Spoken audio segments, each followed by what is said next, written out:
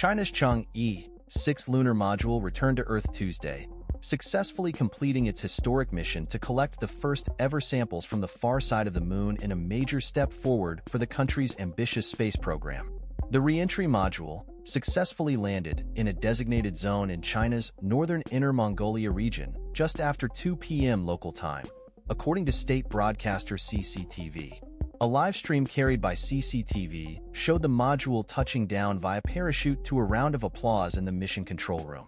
The Chang'e 6 lunar exploration mission has been a complete success, said Zhang Kejian, head of the China National Space Administration, CNSA, from the control room. A search team located the module minutes after its landing, according to CCTV. The live stream showed a worker carrying out checks on the module, which lay on grassland beside a Chinese flag.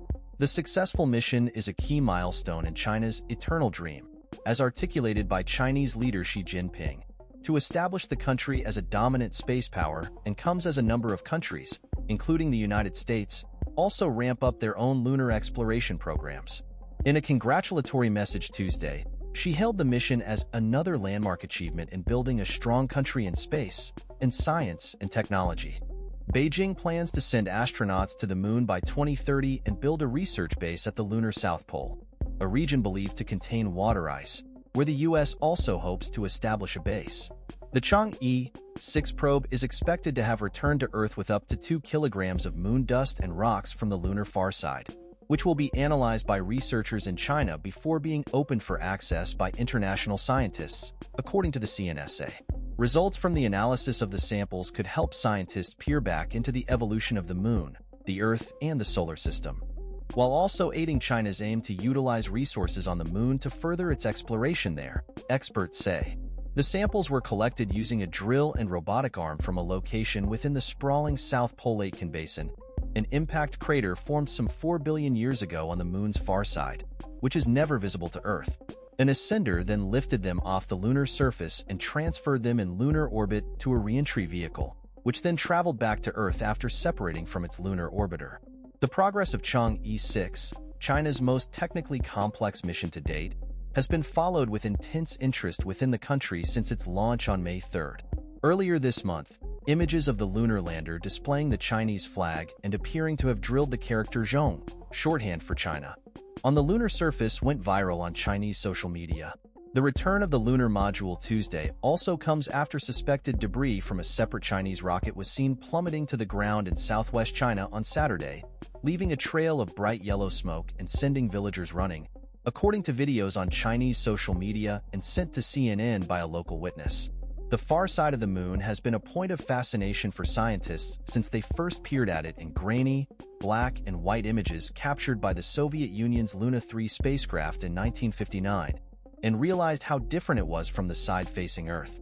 Absent were the lunar Maria, or large, dark plains of cooled lava that pockmark much of the moon's near side.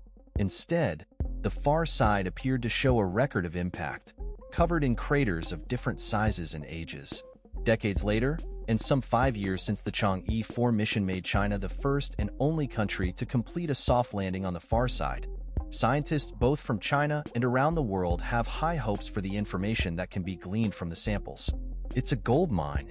A treasure chest, said James Head, a professor of planetary geosciences at Brown University, who together with European scientists collaborated with Chinese scientists analyzing samples from the Chang'e 5 mission that returned near-side samples.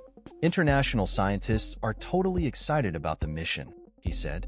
Head pointed to the destruction of many clues of evolutionary history due to the shifting of the Earth's plate tectonics and erosion that has obscured the planet's first several billion years, including the period when life emerged. The Moon is really the cornerstone for understanding that because its surface does not have plate tectonics, it's actually a frozen record of what it was like in our early solar system, he said, adding that understanding the Moon's makeup can not only aid our understanding of the past but future exploration of the solar system. While the stated focus of the Chang'e 6 mission is these broader scientific questions, experts say analysis of the composition and physical properties of the samples could also help advance efforts to learn how to use resources on the Moon for future lunar and space exploration.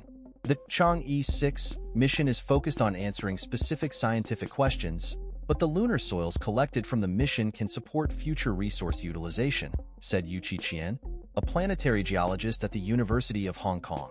Lunar soil could be used for 3D printing to produce bricks for construction of research bases on the moon.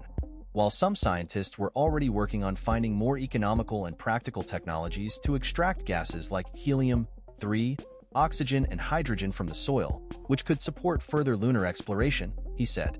Once they receive the samples, Chinese scientists are expected to share data and carry out joint research with international partners, before Beijing later opens the samples for access by international teams, according to statements from CNSA officials. International teams had to wait roughly three years to apply for access to samples from the Chang'e 5 mission. But some of the earliest published research on those samples was from teams of Chinese and international scientists. Chang'e 6, the sixth of eight scheduled missions in the Chang'e series, is widely seen as an important step forward for China's aim to put astronauts on the moon in the coming years. Each step in the sample return mission process is exactly what you need to do to land humans on the moon and return, Head said. It shouldn't be lost on anyone that while, on one hand, this is a scientific mission, the command and control aspects are exactly what you need for lunar human exploration as well as things like Mars sample return. China's ambitions to send astronauts to the moon come as the U.S. targets launching a crewed Artemis mission as early as 2026, in what would be America's first such attempt in more than 50 years. NASA Chief Bill Nelson has appeared to point to China's pace as a driver in U.S. progress, telling lawmakers in April that the two countries were, in effect, in a race. My concern is that they get to the South Pole first and then say, This is our area, you stay out. Because the south pole of the moon is an important part, we think that there is water there, and if there's water, then there's rocket fuel, Nelson said.